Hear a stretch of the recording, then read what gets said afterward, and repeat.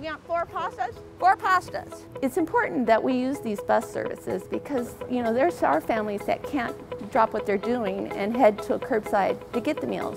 Hi, my name is Valerie Lawrence and currently I'm working um, out of Southridge High School um, coordinating our two bus routes and I couldn't do it without the bus drivers. My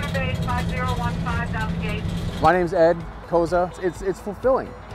You know, I, I, get to I get to see the families, I get to see the kids. I'm doing, I'm providing a service for them, and it, it really makes me feel good. On Tuesday morning, my cohort Missy comes in, and we start loading up the meals into coolers.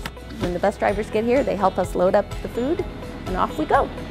You have your permission slip? Good job. I'm keeping care of the bookkeeping part and they're getting the food out and distributing it out to the children and the families that come to the bus routes. I'm actually having a lot of fun and I really enjoy the bus drivers that I'm with because they really support me. Val, you said you had some chicken nuggets too? And they make it a very fun day. This is a great thing that we're doing for the kids and I'm happy to be a part of it.